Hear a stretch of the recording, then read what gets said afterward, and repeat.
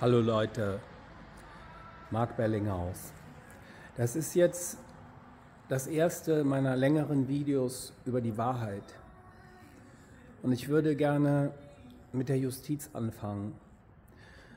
Ich war heute hier den ganzen Tag hier bei dem riesengroßen Kaufland in Berghamen, weil ich da sehr nette ähm, Bäckerei-Mitarbeiterinnen habe, die mir immer ein wunderschönes Frühstück bereiten, wenn ich mal hierher komme und ich dann auch immer irgendwas Schönes finde, für den Herbert zum Beispiel, der mein Samariter ist.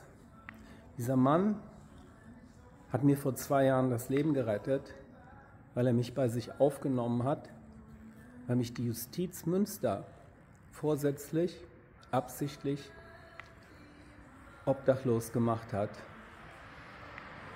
Ich bin aus meiner Wohnung durch eine Zwangsräumung obdachlos gemacht worden und kann beweisen, das werde ich auch noch tun. Ich werde die Wohnungsbaugesellschaft Bauverein Kettler EG, die eine katholische Wohnungsgesellschaft ist, ähm, werde ich auch noch verklagen auf Schadensersatz und zwar nicht zu knapp. Ich kann beweisen, dass die das Gesetz gebrochen haben, denn der Kündigungsgrund war, dass ich die Nachbarn beleidigt hätte. Ihr müsst euch vorstellen, ich habe noch nie einer Fliege irgendwas zuleide getan, könnte ich gar nicht. Ich habe in Amerika wirklich wie David gegen Goliath gekämpft und habe den, den Estate of Marilyn Monroe Anwalt, der absolut kriminell ist, der jetzt Lothar Matthäus vertritt. CMG Worldwide, könnt ihr mal googeln. Lothar Matthäus ist bei einem kriminellen Anwalt, Mark Rössler heißt er, CMG Worldwide. Das wiederhole ich, ich habe gewonnen. Dieser Mann hatte mich für 100 Millionen Dollar verklagt und ich habe auch gewonnen. Habe nie aber Kohle irgendwas bekommen, weil ich auch von meinen Rechtsanwälten in Amerika beschissen, verraten und verkauft wurde. Naja, aber ich habe dieses Marilyn Monroe, The Exhibit, diesen Skandal, diesen Betrug habe ich gestoppt. Die wären nämlich auch nach Deutschland gekommen. Und die hätten nicht zu knapp Kohle gemacht mit lauter Schrott, mit Müll, mit kompletten Unrat, den die als Marilyn Monroe Eigentum ausgegeben haben. Ich habe nie ein Dankeschön von der Bundesregierung bekommen. Ja? Ich hätte mich wirklich über ein Bundesverdienstkreuz oder sonst was gefreut. Martin Katsch, Missbrauchsopfer der katholischen Kirche. Könnt ihr mal googeln.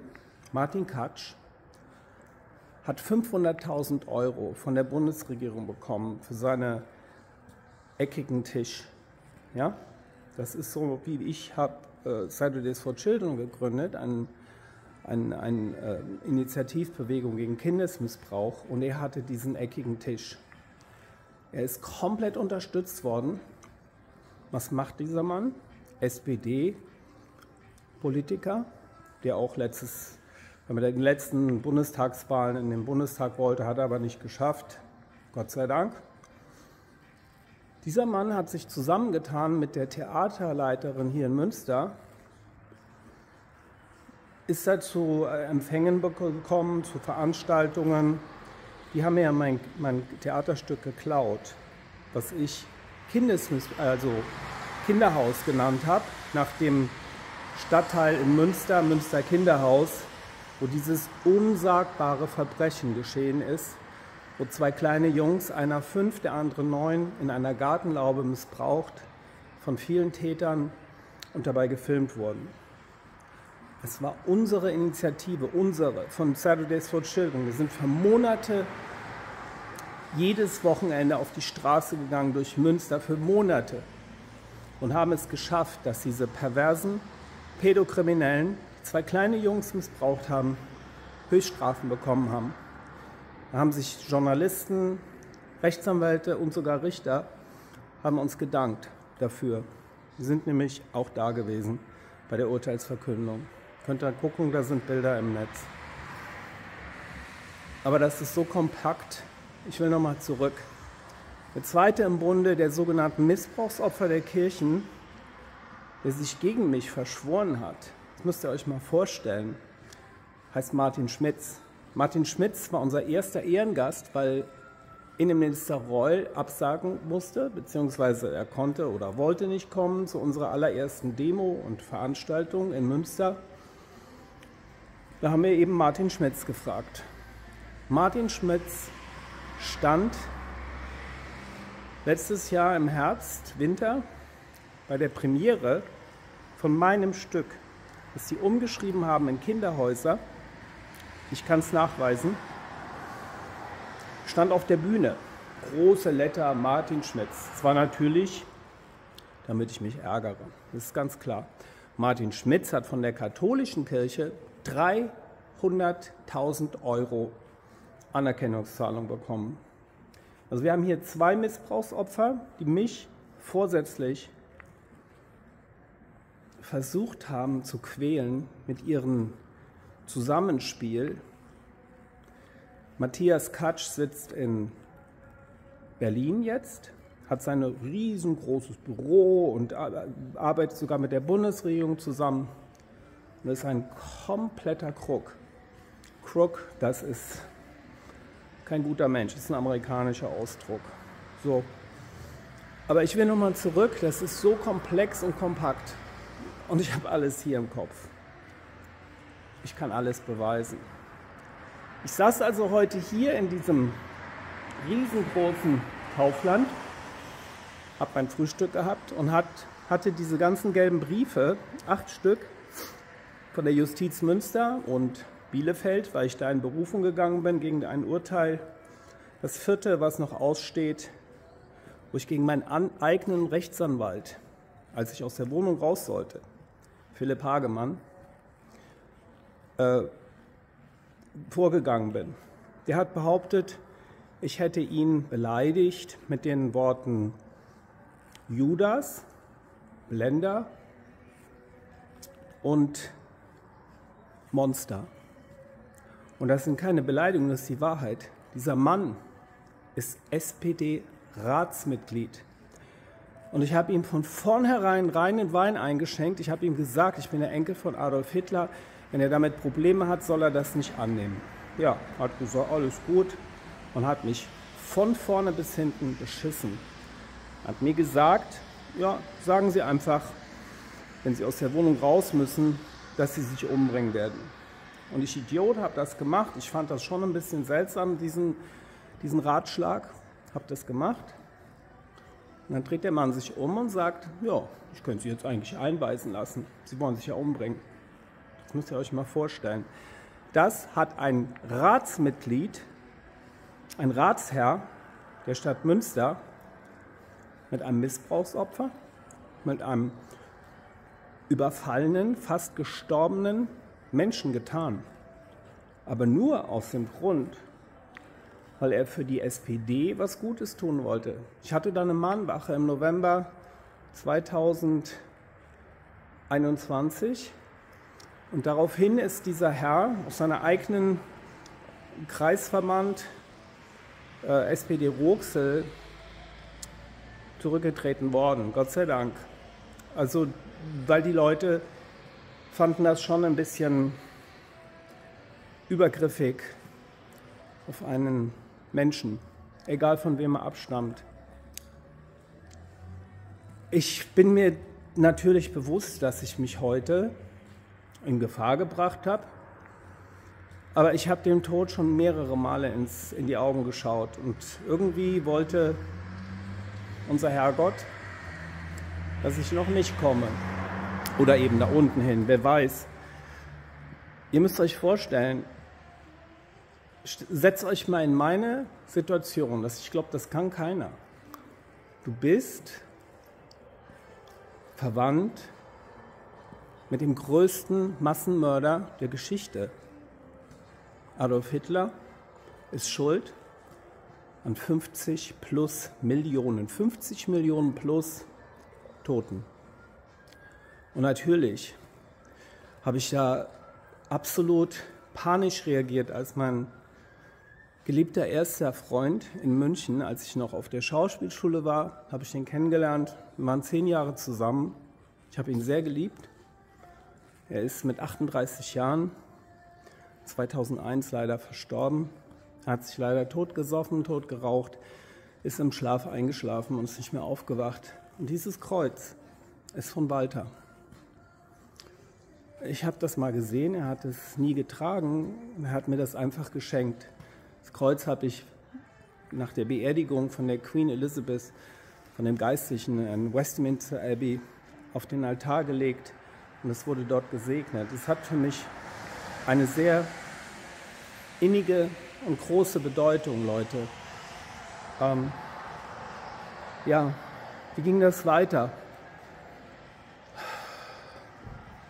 Ich saß da heute an dem Tisch, hatte diese acht gelben Umschläge und ich habe sie immer noch nicht aufgemacht, Leute, weil ich einfach nicht mehr kann. Ich habe seit 2014, also seit 2010, 14 Jahre, ich bin vogelfrei wie Martin Luther. Jeder kann machen, was er will mit mir. Ich habe von dem Rechtsanwalt von der Karen Breeze das ist die Diebin, die mein Stück geklaut hat und sich mit dem Theater Münster gemeingetan hat, mit einem Remsi Al-Khalisi, dem Schauspieldirektor und Frau Katharina Kost-Tollmein, die durch ihren eigenen Ehemann, Rechtsanwalt Oliver Tollmein, bewirkt hat, dass meine Petitionen, Petitionen mit 500 Unterschriften gegen sie, dass erstmal die Petition von Change.org gekappt wurde, ist einfach gelöscht worden mit lauter Drohungen, Lügen und ähm, auch meine Videos, die ich über sie gemacht habe, die meisten sind verschwunden.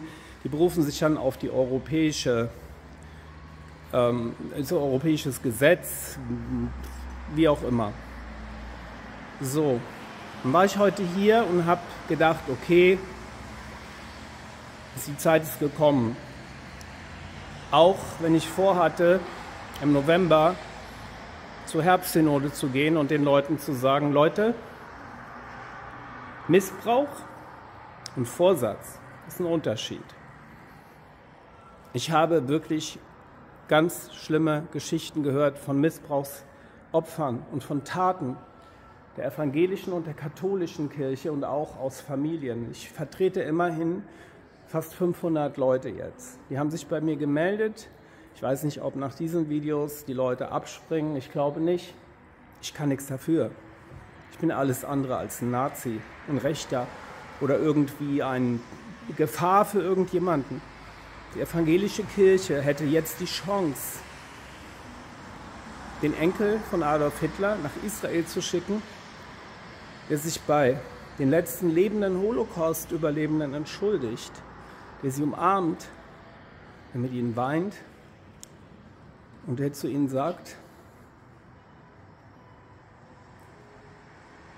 nicht nur es tut mir leid, sondern ich finde leider keine Worte für das, was du, was sie, was ihr mitgemacht habt durch mein Fleisch und Blut. Insofern kann ich euch nur um Verzeihung bitten. Und wenn ihr das nicht könnt, dann würde ich das verstehen. Ich kann auch verstehen, wenn mich Leute, die mit Holocaust-Überlebenden oder Sinti, äh, Enkeln, Sinti und Roma, die auch gekillt wurden von den Nazis und viele, viele andere, wenn die mich hassen, wenn die mir nach dem Leben trachten, wenn die mich beseitigen wollen, das kann ich verstehen. Aber ich kann mich nicht verstecken. Ich kann mich nicht verstecken. Ich will mich nicht verstecken. Ich will,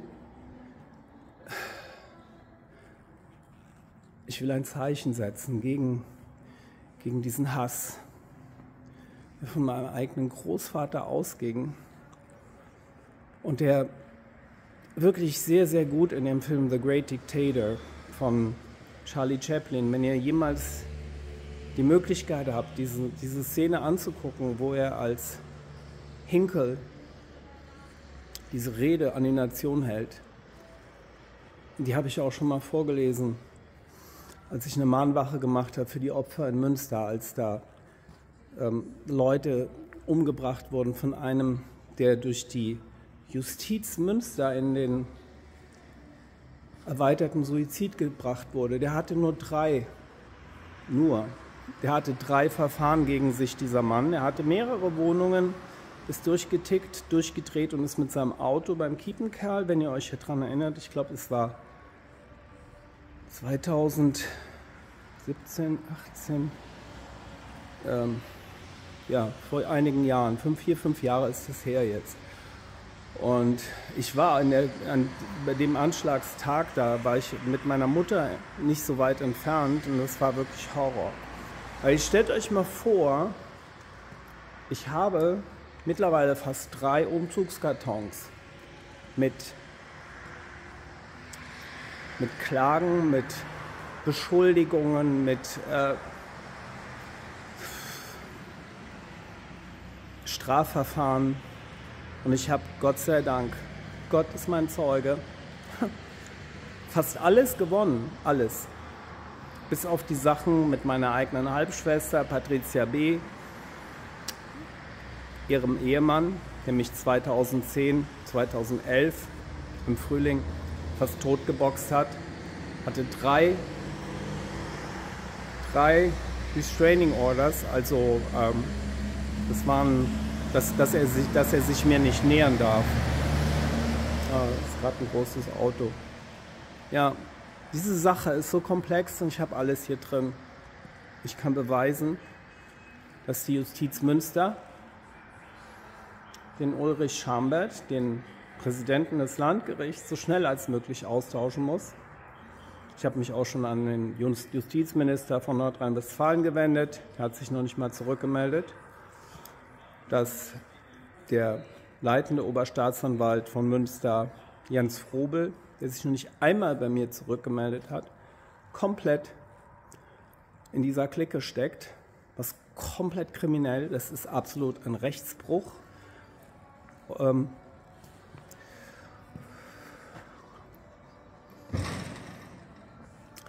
und dann auch noch ein Herr namens Jürgen, Dr. Jürgen Wrobel. Dieser Mann ist der Direktor des Amtsgerichts und hat mich nicht ins Amtsgericht reingelassen, ohne Grund, als ich, als ich mir ein Stück anschauen schauen wollte, das Verhör beziehungsweise die, ähm, das war ein sehr, sehr wichtiges Stück. Er sagte aber keinen Grund, warum ich nicht rein durfte. Das Amtsgericht und das Landgericht, die haben das Theater Münster zu Besuch regelmäßig für Vorstellungen. Wie wollen die unbefangen urteilen über meine Sache, über meine Klage wegen Kinderhaus versus Kinderhäuser? Also da will ich noch in Berufung gehen. Ich weiß, dass ich das mit links gewinnen wird und dann werde und dann muss Frau Kostolmein ihre Sachen packen zurücktreten. Und dieses Verfahren ist komischerweise von der Stadt Münster versus Mark Bellinghaus, vertreten durch Oberbürgermeister Markus Lewe. Herr Lewe, falls Sie das sehen sollten. Ja, Sie treten ja nicht mehr an als Bürgermeister, was ich auch gut finde, als Oberbürgermeister. Sie haben es versäumt, ein Oberbürgermeister nach einem so großen Skandal wie dem Missbrauchskomplex von Münster nicht einmal sich blicken lässt, bei einer Bewegung, bei einer Initiativbewegung, die ich gegründet habe, Saturdays for Children, das könnt ihr googeln, das steht auch in den westfälischen Nachrichten, stand was drin und wie auch immer. Ein Oberbürgermeister, der noch nicht einmal gekommen ist. Wir haben ihn jedes Mal eingeladen, haben gesagt, Sie können sich doch mal zeigen. Ah, ah. Ist doch klar. Er wusste, wer ich bin. Weiß jeder. Und deswegen haben die mich so behandelt. Und das ist gegen Artikel 3, Absatz 3 unseres deutschen Grundgesetzes, was jetzt gerade vor kurzem 75. Jubiläum feierte. Aber ich bin vogelfrei. Die Justiz macht mit mir, was sie will. Da war zum Beispiel eine Richterin, Jasmin Saklam, türkischer Background. Und ich habe gewusst, diese Frau macht das absichtlich, weil sie weiß, wer ich bin, weil sie denkt, ich bin ausländerfeindlich, ich habe was gegen Asylanten oder sonst was, was überhaupt nicht wahr ist. Ich bin zu verschiedenen Demonstrationen für Moria, für die äh, Aufnahme von Asylanten und so weiter. Mittlerweile habe ich da eine andere Einstellung, weil es einfach nach Solingen und so muss sich was ändern.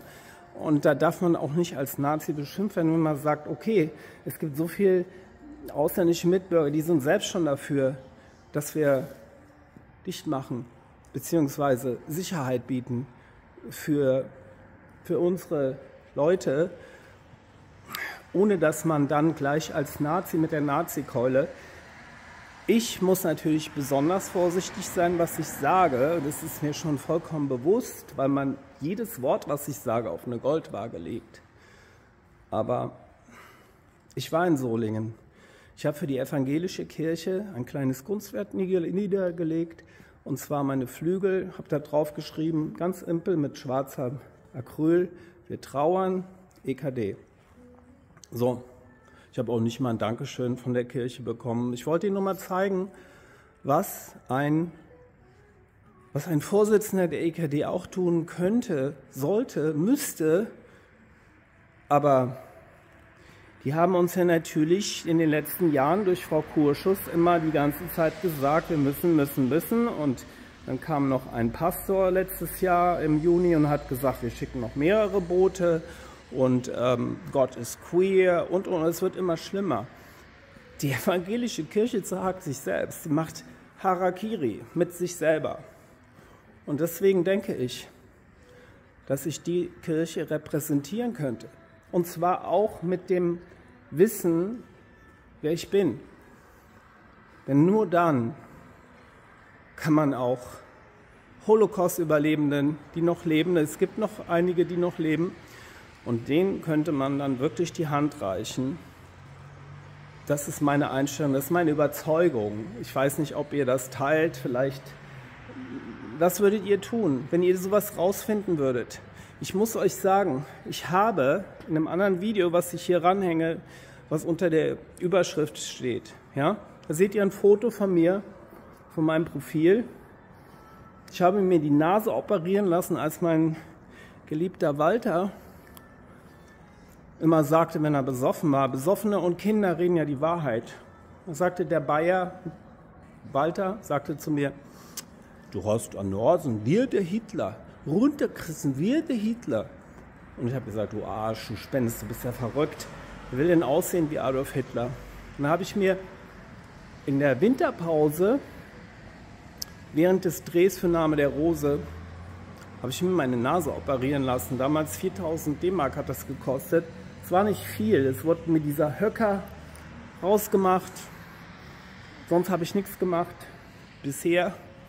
Ich habe nichts dagegen, wenn die Leute sich irgendwie operieren lassen, aber also ich habe kein Botox oder sonst was, aber ich fühle mich wie 20 und ich habe eine Menge Energie und ich denke, das ist wegen meiner geliebten Oma Gili Raubal, die ja leider nur 23 Jahre alt wurde, die einen Traum hatte, Opernsängerin zu sein, zu werden, hat eine Ausbildung gemacht, hat mit dem, mit dem Ekel Adolf Hitler zusammenwohnen müssen, nachdem mein Vater geboren wurde in Leipzig. Sie musste meinen Vater in Leipzig auf die Welt bringen.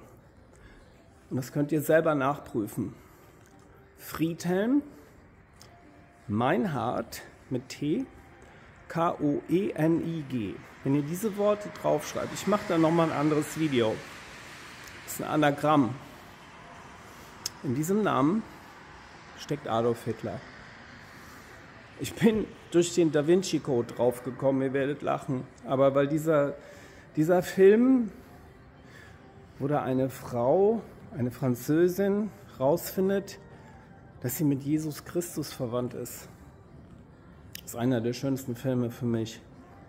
Nur dass ich vier Jahre später, nachdem der Film rausgekommen ist, so einen ähnlichen Moment hatte. Das hätte ich mir nie denken können. Oder auch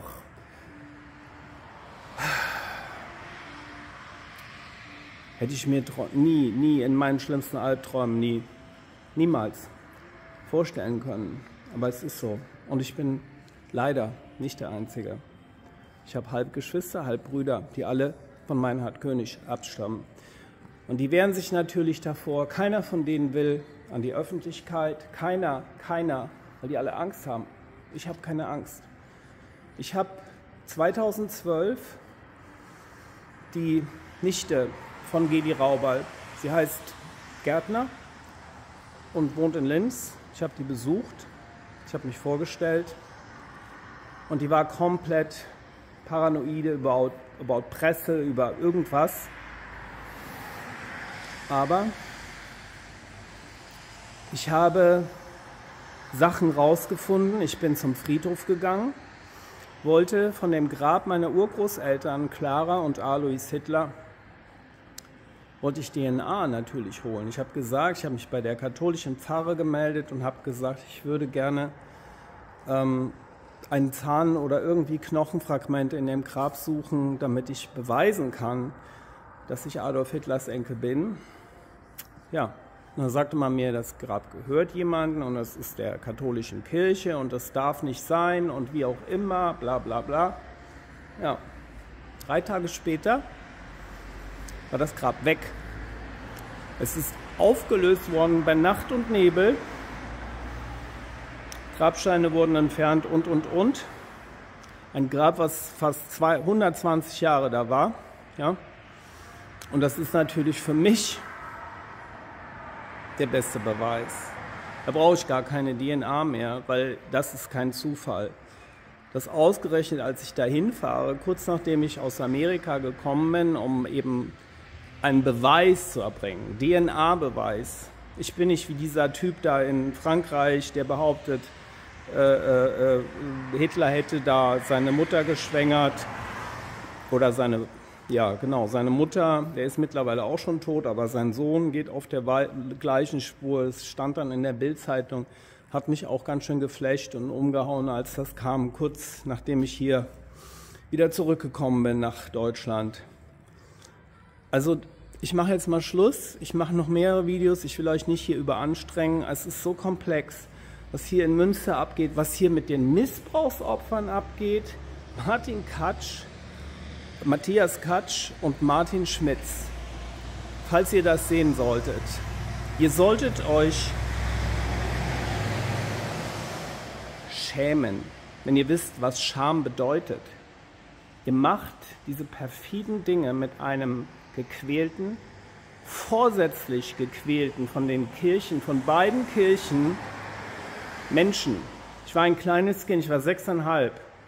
Ich wusste nicht, warum diese evangelische Erzieherin Heidi Kranz, die in der diakonischen Alumnat arbeitete, warum die mich fast totgeschlagen hat mit ihrem Spazierstock, mit ihrem Charlie Chaplin Stock oder was das war, so ein Rohrstock hat dann die ganzen Ältesten des Internates auf mich gehetzt. Sie mussten mich vor allen Kindern vergewaltigen. Und ich bin nicht Detlef Zander. Ich erzähle keine Details, weil das kann man nicht beschreiben, was mit mir gemacht wurde. Und deswegen fordere ich die Kirche auf, anstelle mir eine Anerkennungszahlung auszuzahlen in Millionenhöhe, mich zu ihrem Vorsitzenden zu machen. Denn die Kirche, ihr, die evangelische Kirche, Ihr müsst was ändern. Ihr müsst euch erneuern. Ihr müsst unserer Gesellschaft beweisen, dass unsere Kinder safe bei euch sind. Denn bis jetzt sieht es gar nicht danach aus, dass ihr überhaupt aufarbeiten wollt. Ansonsten seid ihr obsolet. Ansonsten kann man alle Kirchen verkaufen und kann die Missbrauchsopfer adäquat auszahlen. Und mit adäquat meine ich nicht 10 Prozent von dem, was die katholische Kirche ihren Opfern als Anerkennungszahlung auszahlt. Das ist ein schreiendes Unrecht und das kreide ich hiermit an. Und ich definiere mich Gott sei Dank nicht nur als Missbrauchsopfer, sondern ich bin Journalist, ich bin Investigativjournalist. Ich habe bewiesen in Amerika, ich den größten Ausstellungsbetrug aufgedeckt erkannt, aufgedeckt und angezeigt und gestoppt habe. Ich glaube, das gibt mir schon das Prädikat Journalist und Investigativjournalist, oder nicht? Und ich habe all meine Erspartes da rein. Ich musste meine gesamte große Marilyn Monroe-Ausstellung, äh, Klamotten und, und, und, alles verkaufen, weil ich alles fürs Gericht und Anwälte und so weiter bezahlen musste. So, es ist unfassbar. Es ist wirklich unglaublich, was da alles noch kommt. Ihr, ihr, ihr werdet es nicht glauben. Ich, ich werde auch gegen das ZDF vielleicht prozessieren müssen, weil die Dinge mit mir getan haben. Martin Moskowitsch, der Produzent von Er ist wieder da, der die Adolf Hitler Komödie schlechthin, Produzent dieses Filmes, war mein allererster Prozent, äh, Produzent in Schulmädchen 84, hat meinen Namen absichtlich geändert von Siegfried Schmidt in Siegfried Schmidt, hat sich totgelacht, hat mein äh, Poster ich habe keinen Pfennig für gekriegt. Das gibt eine neue, eine nächste Klage auf Schadensersatz. Hat, hat, macht eigentlich das Gleiche, was er damals gemacht hat, diese, diese, diese Jugendstreifen, so wie you Goethe, ist auch dieser, dieses Schulmädchen 84, hat es extra Schulmädchen 84 genannt, damit es sich so anrüchig anhört. Es ist unter dem äh, Namen Jugend 84 gedreht worden. Aber ich habe ja dann meinen Namen geändert, insofern stehe ich da auch nicht im, äh, im, im, Wikipedia oder so. Wikipedia ist eine andere Story. Da ist ein Irrer aus Wuppertal, der heißt Gunther W. Ich sage jetzt den Nachnamen nicht, weil ich gegen den auch schon prozessiert habe. Hat meinen Namen geklaut, hat da irgendein Mark Bellinghaus erfunden, hat verschiedene Mitarbeiter erfunden, zahlt keine Steuer für die, ist ein kompletter Betrüger.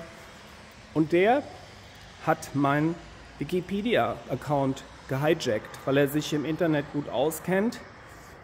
Äh, die ganzen Artikel, die in der Zeitung standen, sind alle nicht aufgeführt. Nur ein paar von meinen Schauspielsachen. Ich habe viel, viel mehr Filme, Fernseh- und Theaterstücke gemacht. Ich kann das nicht machen. Ich will es auch nicht machen.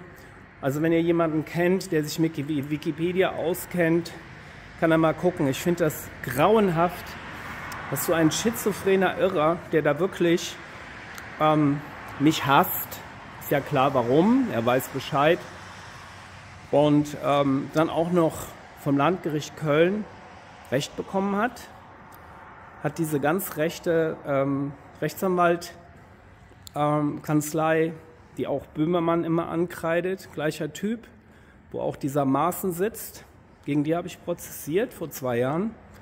Und der Richter, Dr. Köpsel, ist wirklich ein Antirichter. Und ähm, naja, ihr seht, ich weiß nicht, was ich machen soll. Ich soll wieder gelbe Briefe aufmachen mit irgendwelchem Scheiß. Würdet ihr, würdet ihr irgendwelche Kohle zahlen für einen Rechtsanwalt, der eine Betrügerin, eine Diebin vertritt. Ich mache das nicht. Und deswegen gehen wir jetzt auch in die bayerische Justiz, weil das ist in Dachau. Natürlich in Dachau. Klar, kein Zufall. So Leute, ich hau jetzt hier mal ab, es ist schon spät, aber es war ein wichtiger, wirklich wichtiger Tag. Ich habe die wichtigsten Videos meines Lebens gepostet, denn ich will, vor euch stehen als Hans-Siegfried Otto Schmidt-König, Raubal, als der, der ich bin. Ich habe mich 1985 in Mark Bellinghaus umbenannt, weil ich immer durch Sigi Schmidt an diese ekelhafte Missbrauchsgeschichte, Erfahrung erinnert wurde.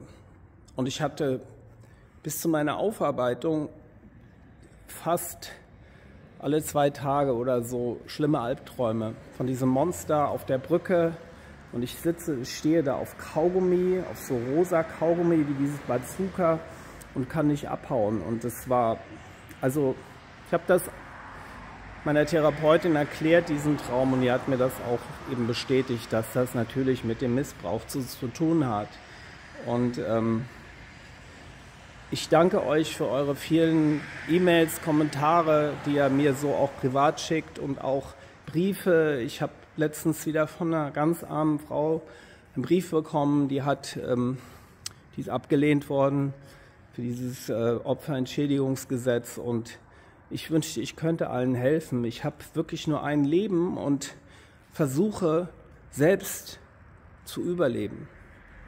Und die evangelische Kirche hätte mit mir wirklich einen würdigen Vorsitzenden der evangelischen Kirche. Denn das wäre das richtige Zeichen zur richtigen Zeit. Und ansonsten sehe ich schwarz für eine Kirche, die eigentlich mehr oder weniger leider obsolet ist. In diesem Sinne, alles Gute. Peace out. Euer Marc.